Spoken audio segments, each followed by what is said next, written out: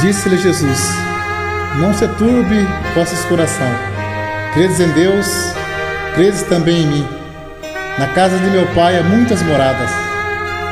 Cada pessoa tem uma alma que geme dentro de si, com gemido inexprimível, querendo Deus, querendo Jesus Cristo, querendo alcançar a salvação.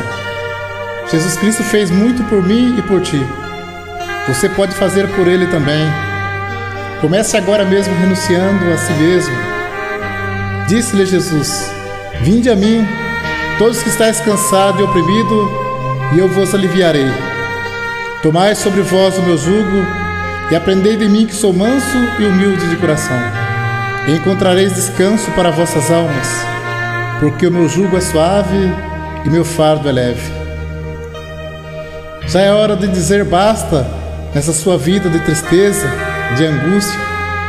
Chega de sofrer, chega de chorar. Deixa as ilusões deste mundo. Jesus Cristo está voltando. As profecias estão se cumprindo. Ele já está às portas para buscar a sua igreja. Para quem está esperando, será um dia de luz, de grande luz. Mas para quem não está esperando, será um dia de trevas e densas trevas. E você ainda não despertou? Não percebeu o motivo da tua tristeza? Esse vazio no seu coração, na sua alma? Não queira você rejeitar a salvação de Deus. O mundo passa e as suas ilusões também, mas quem crer viverá eternamente. Pois o juízo de Deus é vindo sobre todas as nações, como está escrito. Vi um grande trono branco e os que estavam sentados sobre ele, de cuja presença fugiu a terra e o céu, e não se achou lugar para eles. E vi os mortos, grandes e pequenos, que estavam diante do trono, e abriram seus livros, e abriu-se outro livro, que é o da vida. E os mortos foram julgados pelas coisas escritas no livro, segundo as suas obras. A alma exclama: Ó estranha presunção! Troquei a paz e a felicidade pela infâmia e desespero.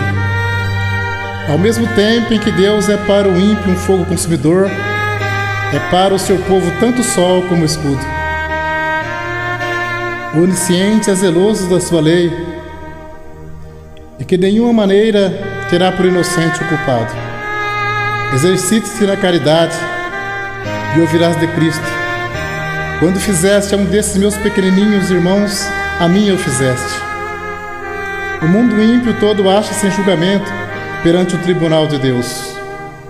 Quantas vezes foi ouvida aquela voz magnífica? Convertei-vos dos vossos maus caminhos, pois por que razão morrereis? O destino de todo terá sido decidido, ou para a vida ou para a morte. Será também a vinda do Filho do Homem, silenciosamente, despercebida. Vigiai, pois, para que de improviso não ache dormindo. Muitos cansando-se de vigiar, envolve as atrações do mundo. Disse-lhe Jesus: Clamei e vós recusaste, porque estendi a minha mão e não houve quem desse atenção. Antes rejeitaste todo o meu conselho e não quiseste a minha repreensão. Quantas advertências desprezada, quantos convites recusados, mas aceite agora o convite ao banquete do perdão. Jesus quer te salvar. Ele suportou tantas as coisas por mim e por ti. Coroa tão cruel, grandes carnos, os cravos e o fel, por nós também na cruz ele pagou. Mas ao terceiro dia, Deus o ressuscitou triunfante. Disse-lhe: É-me dado todo o poder do céu e na terra. Derribando ele a parede de separação, na sua carne desfez a inimizade. Isto é a lei dos mandamentos, que consistia em ordenância para criar em si mesmo dos dois um novo homem, fazendo a paz.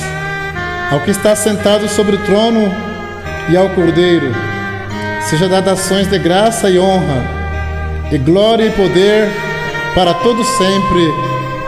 Amém.